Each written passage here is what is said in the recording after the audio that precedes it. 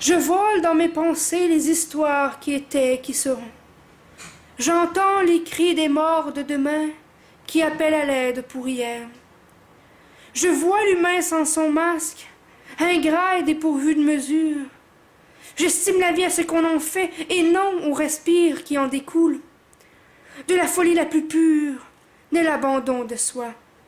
Cloué au mur par le sillage de vent du train qui passe et s'en va sans moi. Essoufflé de courir derrière l'avenir inaccessible.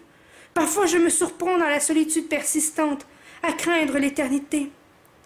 Chercher en vain le numéro de la vie dans le bottin, ne trouver que celui de la déchéance, du mépris, de la haine, que j'ai trop souvent composé.